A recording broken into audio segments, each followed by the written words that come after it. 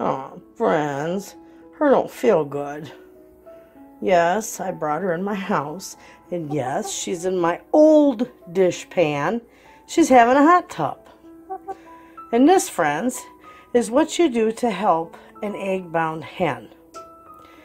You just, you know, you, you, you give them some Tums or some kind of calcium that, or, that will help um, with their contractions so they can help pass that egg. It, it strengthens it up. And also, you put them in a little bit of hot water. You give them a little, a little sitz bath, so to speak. And uh, so she's sitting in there. And of course she's real good in there because she don't feel good.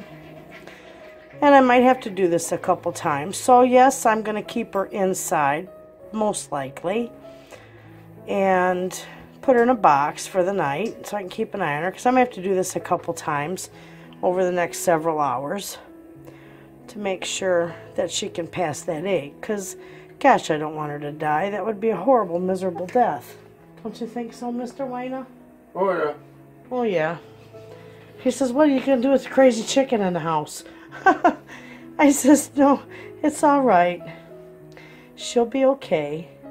But I just thought I'd show you just how nice she's sitting in the, the her little tub and all that water on her. Now, some people will tell you that, you know, you can massage around their vent. And, uh, but I, I wouldn't do that because you can risk the chance of breaking that egg inside of her, and that could be a disaster. So I don't touch her.